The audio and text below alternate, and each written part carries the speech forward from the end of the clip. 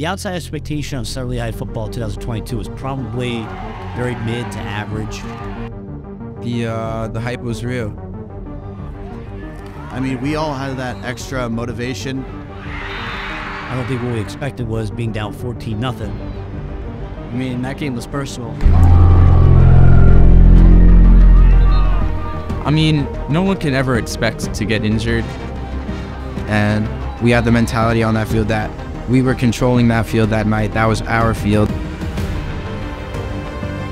I don't want you guys to go home tomorrow and say, what if I did this? What if we did that? There is no what if!